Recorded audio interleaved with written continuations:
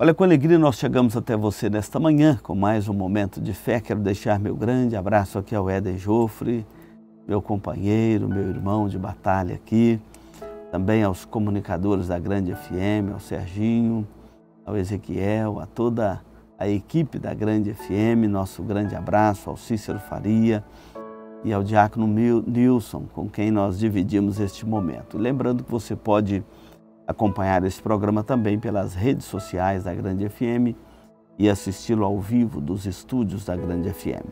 Salmo 90 é uma oração de Moisés, homem de Deus. Enquanto Moisés atravessava o deserto com o povo de Israel, guiando do Egito até a terra de Canaã, a terra prometida por Deus a Abraão, o nosso patriarca da fé, Moisés então compôs esse salmo, que é uma oração do deserto.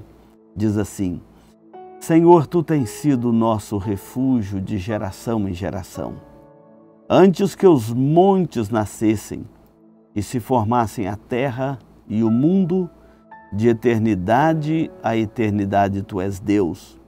Tu reduzes o homem ao pó e dizes: Tornai filhos dos homens, pois mil anos aos teus olhos é como o dia de ontem que se foi e como a vigília da noite.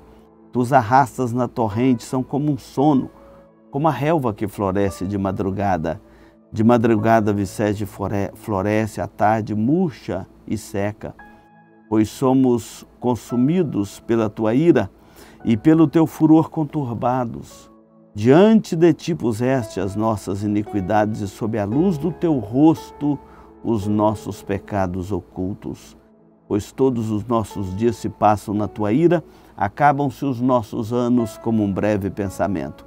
Os dias da nossa vida sobem a 70 anos ou a, em havendo vigor a 80. Neste caso, o melhor deles é canseiro e enfado, porque tudo passa rapidamente e nós voamos. Quem conhece o poder da tua ira e a tua cólera segundo o temor que te é devido? Ensina-nos a contar os nossos dias para que alcancemos coração sábio. Deus é o nosso refúgio de geração em geração. Não tem uma geração sobre a face da terra que não careça do refúgio e dos cuidados do Senhor nosso Deus. E Moisés está orando aqui dizendo isto, olhando as gerações passando, olhando aquele povo morrendo no deserto sob a ira de Deus e pedindo a clemência e a misericórdia de Deus, relatando a eternidade de Deus e a transitoriedade da vida humana nesta peregrinação aqui sobre a face da terra. Então ele diz: Senhor, o Senhor é o nosso refúgio de geração em geração. Antes que os montes nascessem, o Senhor já é Deus é Deus de Deus, é Deus eternamente, de eternidade a eternidade. A eternidade de Deus e a eternidade do homem se difere aqui. Deus é de eternidade a eternidade e a eternidade do homem é a partir do seu nascimento. Não é como Deus de eternidade a eternidade. E aqui ele compara, olhando a ira de Deus sobre aquele povo desobediente lá no deserto, sendo dizimado, apenas a geração de 20 anos para baixo entraria na terra da promessa, e Deus dizimando aquele povo de 20 anos para cima.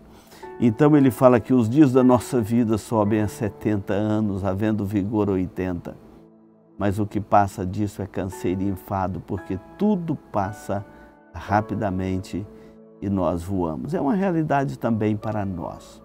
A vida mais longa é curta. É por isso que nós temos que olhar para Cristo, porque em Cristo a perspectiva de vida é outra no Evangelho. Jesus diz: Quem crê em mim tem a vida eterna. Em Cristo, o projeto é de vida eterna.